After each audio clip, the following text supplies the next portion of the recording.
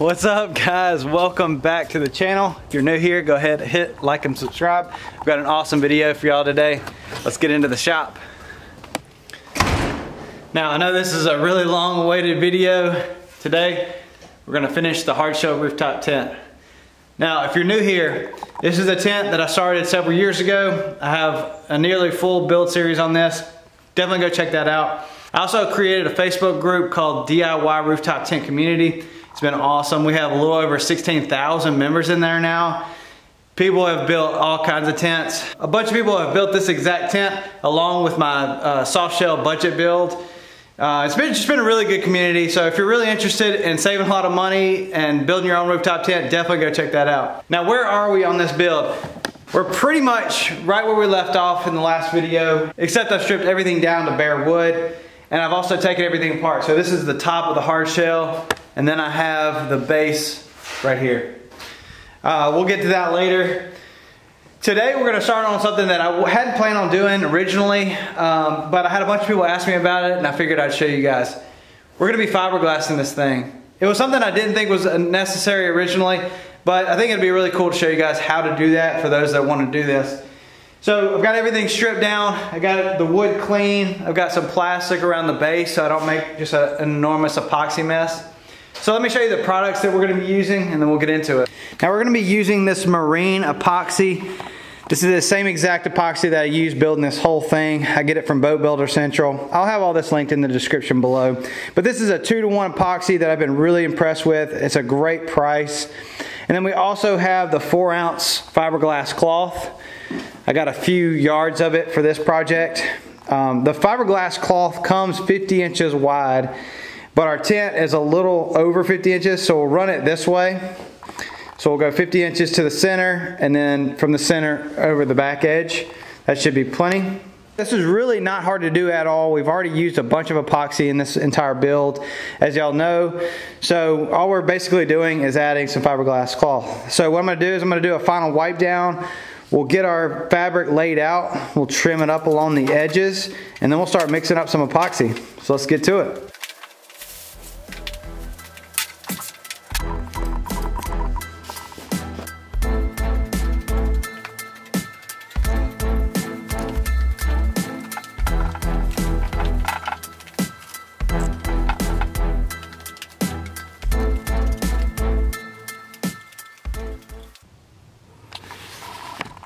We got the fiberglass cloth all laid out.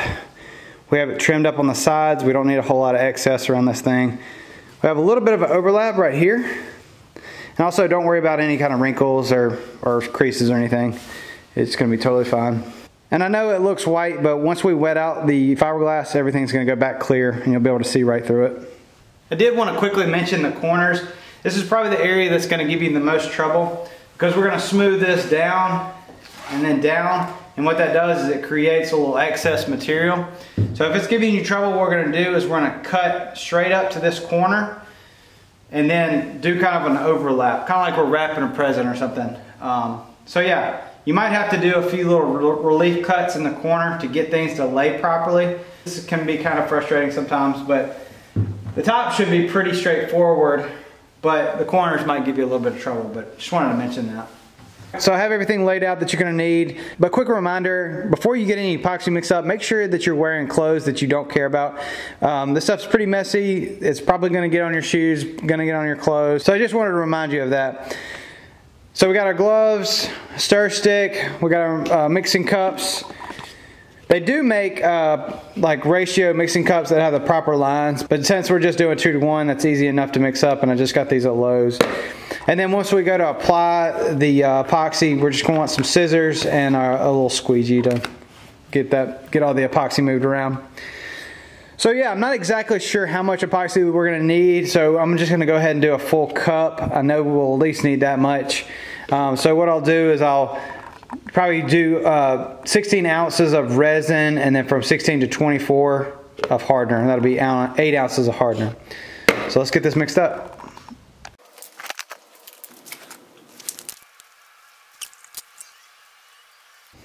All right, before you put your hardener in, be sure you've double checked everything. Make sure that you're actually ready to go because once you put this in here, it's already starting the cure process. We have like 20 minutes, 25 minutes time to work with, maybe a little bit more than that.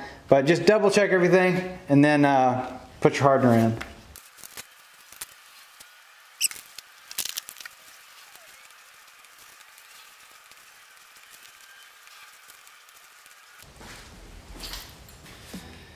All right, here goes. Start with the center.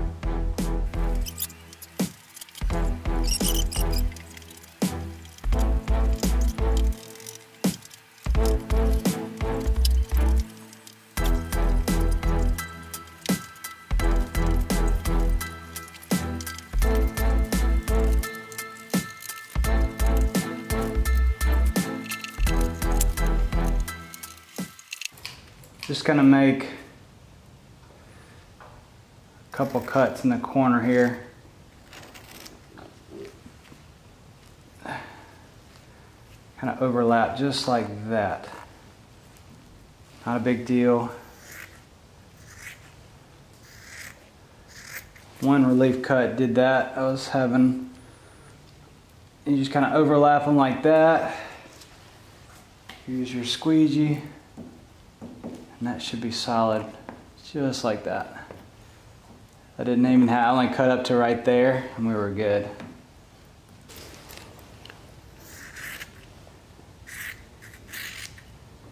Just like that. Cut some of this off, we don't need this much material.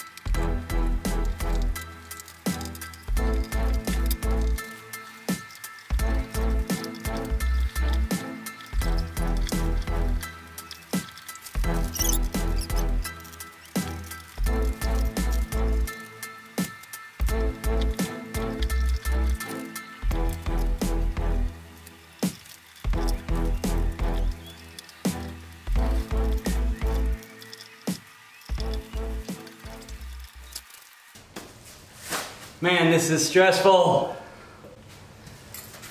I'm just working around the corners, making sure, sometimes it wants to lift in some of these like indentions right here. Like when I press down here, it's kind of pulling away right here. So sometimes it's nice to have two of these guys press in that corner so that stays down. And then squeegee downward to wet out all these sides. Once we have all the cloth saturated, we're just gonna go around this thing a bunch of times, um, making sure that everything's like, there's no air bubbles, nothing's like lifting up weird in a corner or something like that. But uh, I can feel this epoxy starting to heat up on me, so it's um, coming kind of to the end of its life, workable life at least. But we're almost there. It's looking really good.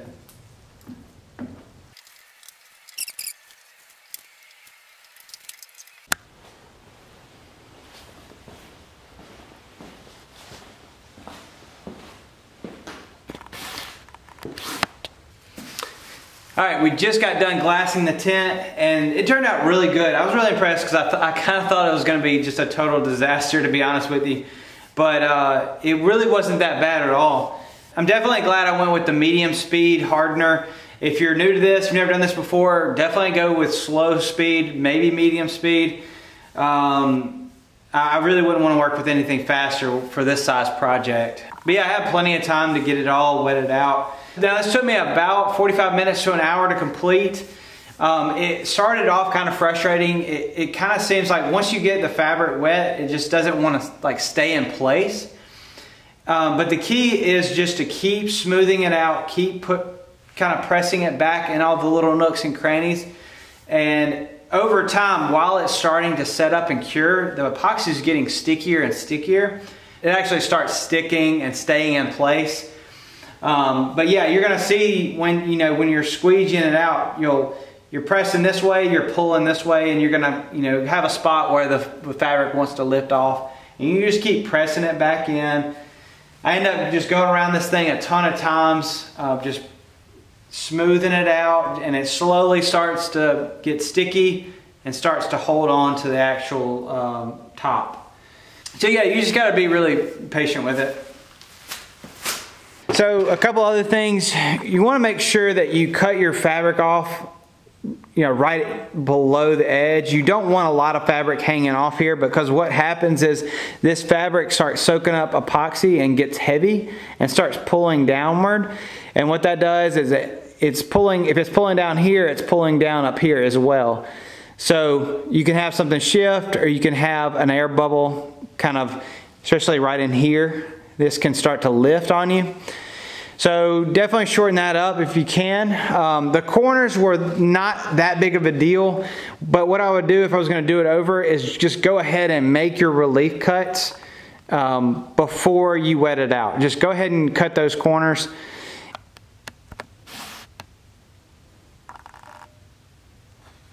You can kind of see the variations in the surface right here. We're going to end up putting several more coats of a, just epoxy on here. We're not going to do any more fiberglass cloth and a lot of that will just smooth right out.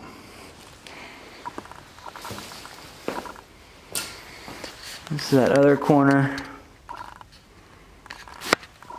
Yeah, super happy with this. All right, we're gonna let this set up. Um, we're gonna end up putting two or three more coats of just plain epoxy on here. We're done with the fiberglass cloth. Right now the board is not very smooth. You can kind of see the surface is kind of dimpled and a few more layers of epoxy will help smooth this whole thing out. And then also when we go to sand, we'll be sanding just bare epoxy and it'll keep us from getting down into that fiberglass cloth. So we're gonna let this set up for probably five or six hours. We don't want it to fully cure before putting on our next coat. Um, so yeah, we're gonna let this set up and then we'll get to it.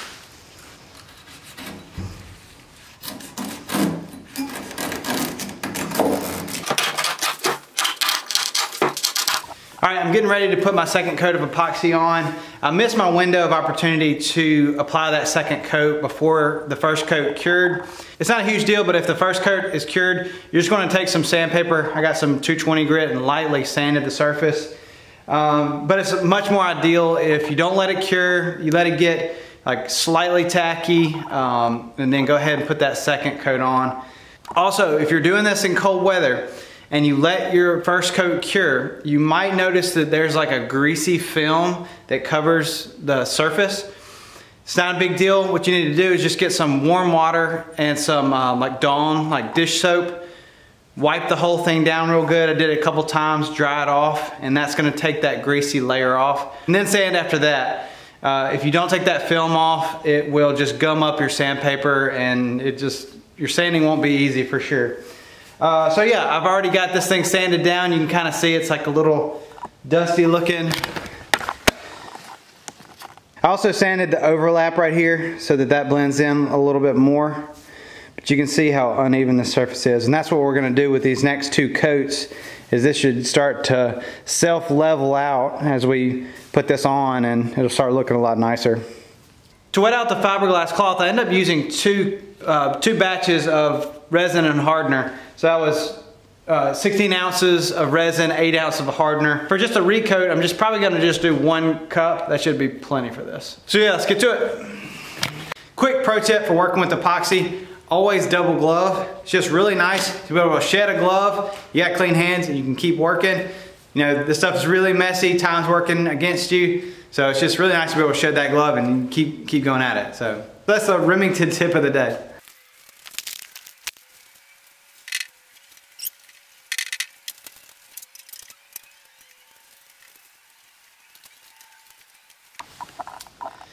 All right, got the third coat of epoxy on. This is the second coat of epoxy after the initial wet out. But I made a really big mistake and the thing looks really bad. Check it out.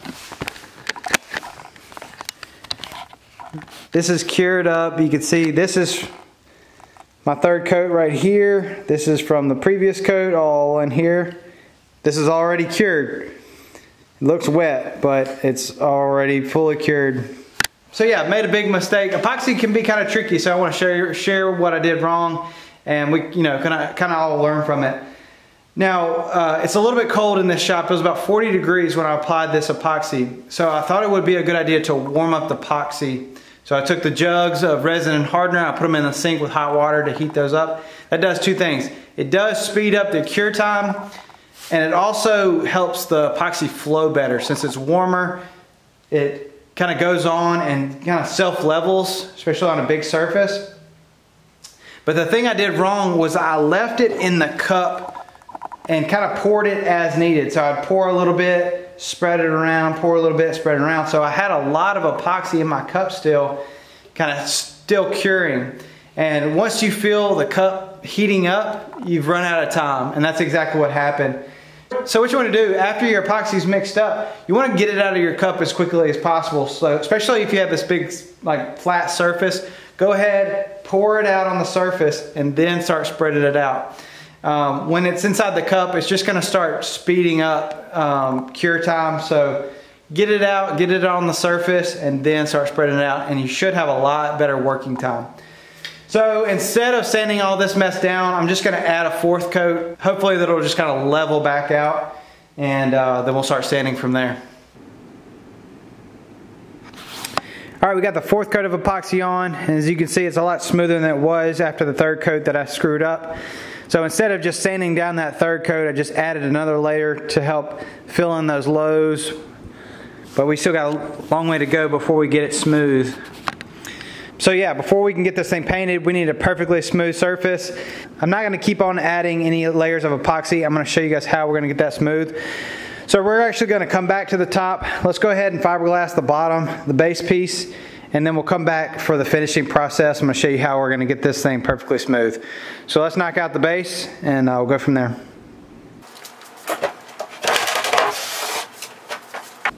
All right, we've got the base all cleaned up, sanded down. And we're not gonna be fiberglassing the entire bottom like we did with the top. I just don't think it's necessary. We're just gonna be fiberglassing the rails basically, where all the where all the pieces kind of come together. We're gonna be fiberglassing that, just so if there's any movement here, it's not gonna crack your paint. It's gonna stiffen that up. So we're just gonna cut our excess fiberglass cloth. We're just gonna cut it in like six inch strips to run down the edges.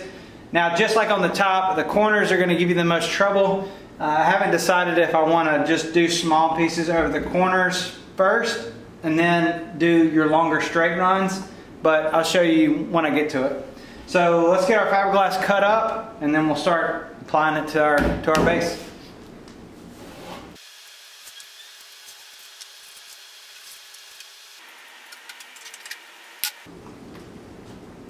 All right, I got my strips of fiberglass cloth cut. This doesn't have to be perfect. I cut, uh, these are about eight inches or so. What I think I'm gonna do is I'm gonna wet out the edges first and then apply the fiberglass cloth just because this is like one big piece. It doesn't want to stay in place very well.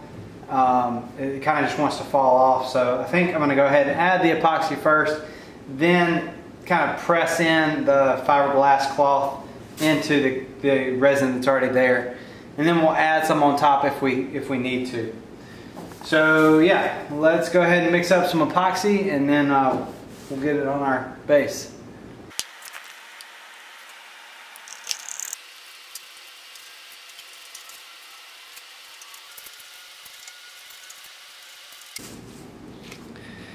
All right, let's add the fiberglass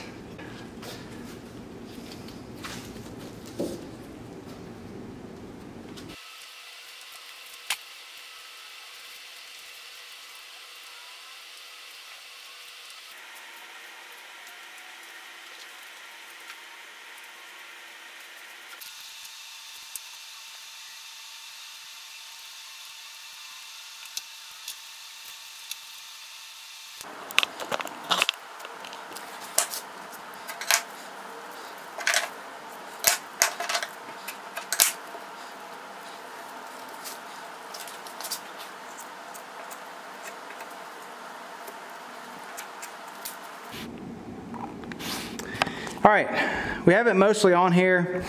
Uh, once the fiberglass cloth is on, you really just have to babysit it for a while until that epoxy starts to cure up. And eventually the fiberglass will start sticking. Um, so sometimes you have to go around, you might find some bubbles, kind of press it back in place, smooth it out underneath. This might start to sag underneath some. Um, a lot of times it wants to lift in this edge right here. You gotta press that down in some places. You just really have to babysit it for a while. But there comes a point where you just have to leave it alone, let it cure, and then touch up later on. Uh, I will say this seemed harder to me than the, than the top. Just with all the curves and, and the corners and everything, for some reason it just was more stressful and uh, seems a little bit more work. But it's coming along. I'm just gonna keep going around this thing over and over and over, pressing in on, on some spots where it's trying to lift. You'll see I got some spots right here. We'll just keep going around it until it's all stuck in place and then uh, then let it cure up.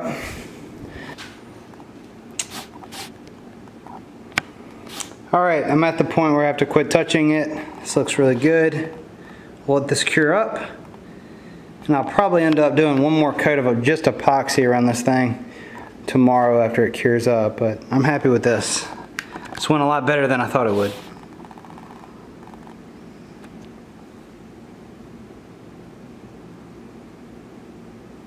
All right, the epoxy is dry. Everything looks pretty good. The corners were by far the toughest part. I had to make some relief cuts and fold that over. And some of those areas uh, created high spots. So I think what I think I'll do is I'll just sand down some of these spots that uh, didn't lay down flat and then add another little piece of fiberglass right in here and then do a second coat of epoxy. And I have a couple little air bubble spots that I'll need to address. And then underneath, there might be some spots where it didn't adhere down there uh, we'll just go ahead and sand that flush, kind of blend that into the bottom. So yeah, we'll fix those problem areas and then uh, put a second coat of epoxy on this.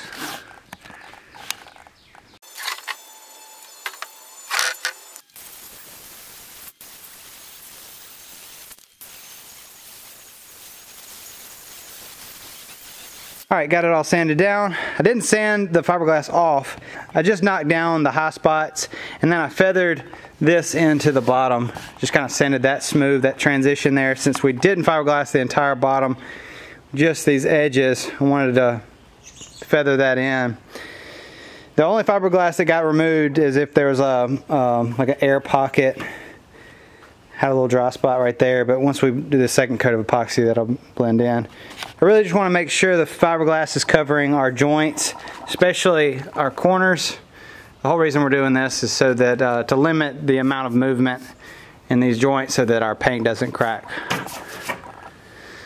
So yeah, this looks good. We're gonna um, add a second coat of epoxy and then probably move on to the top.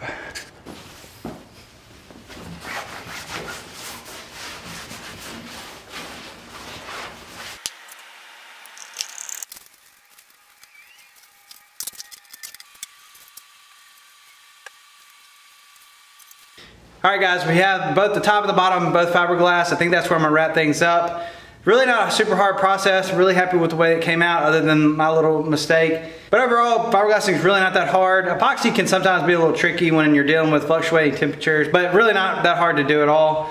Uh, I hope this video has been helpful. In the next video we do on the hard shell, I'm not sure if it's gonna be the very next video I do, but we're gonna get this thing prepped, ready for paint, and we'll get this thing painted. We're actually gonna be trying something new. We're gonna use a product called Glass Microspheres.